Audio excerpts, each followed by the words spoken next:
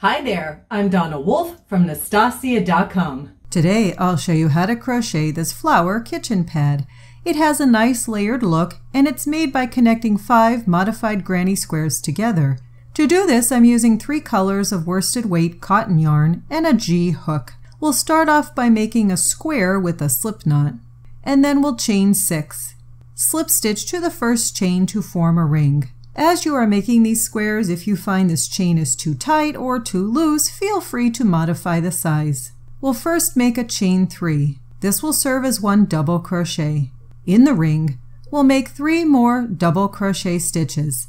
Technically, once completed, we will have made four double crochet stitches in this ring thus far. Now we'll work on the corner. For each corner, I'm making a chain 5. As before, if later on you find the chain 5 doesn't work, feel free to adjust it up or down and count. And then we're going to make 4 double crochet stitches all in the ring. This is matching the 3 double crochet plus chain 3 that we just did before in the ring. And now we'll move on to the next corner with a chain 5. Then we do our 4 double crochet stitches in the ring followed again by another corner making a chain 5 again, followed again by our 4 double crochet stitches all in the ring. We need to make our last corner, which is a chain 5 again. And when we are finished with that, we'll slip stitch to the top of the original chain 3 starting this round. You can see what the first round of my square looks like thus far. It's basically four sets of four double crochet stitches with a chain 5 in between them for the corners.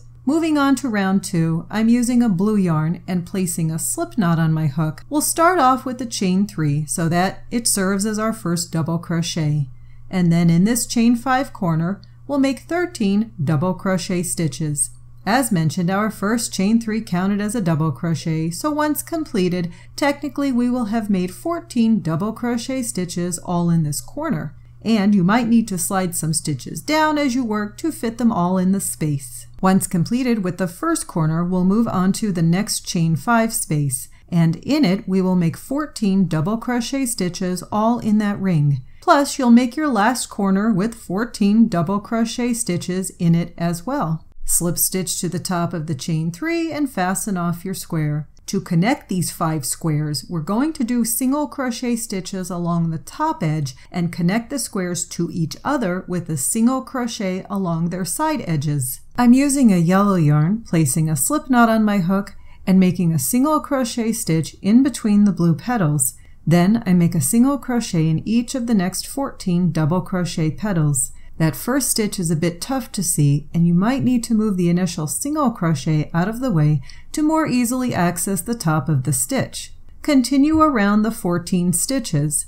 Then when that petal is done, make a single crochet again, then proceed with making one single crochet in each of the next 14 stitches, and finally make a single crochet in the space between the second and third petal. You can see what this looks like thus far. Now it's time to connect the second square to the first square. We'll do this by ensuring the squares are facing the same way, and then make a single crochet in between any one of the petals from the second square and you might need to pull this stitch a bit tighter so that it doesn't sag or have any loose space between them. Then proceed with working on this second square in a similar manner to how we did our first square.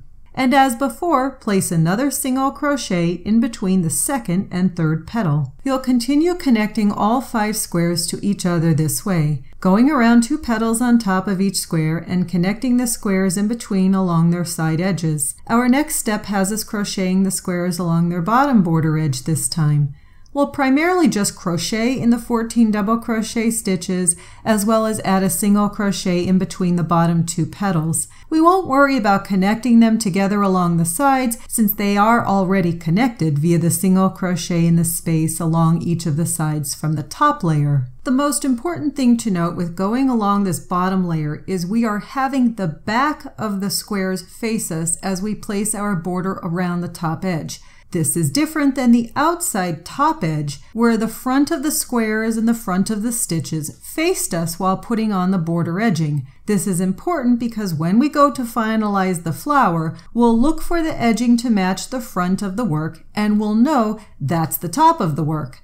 The bottom of each square will have an edging that faces the correct way, but the stitches of the squares will have the back of the work facing us instead. Our next step is to open up the bottom section of each of the squares. I like to double the yarn on a yarn needle. We're going to do a little sewing to get the center of the flower pad to look nice and add that layered look to it. We're going to look for each of the single crochet stitches between the two bottom petals and then take our yarn and sewing needle and make a stitch into it. Then we'll move on to the next square, looking for the single crochet stitch between the bottom two petals and take our yarn needle and make a stitch into it. Using the two strands of yarn, pull the center section of the flower closed, then tie and knot it securely. You can fish the strands along the back with a crochet hook and then weave them in securely. Assuming all went well, you should be able to pull open the bottom section of each of the squares and flare them out to form the top layer of petals. If you are using cotton yarn, you can use a warm iron with a pressing cloth or some steam to flatten these flowers out if you want them to stay down a little more. That's how I crochet a nice and colorful layered flower kitchen pad.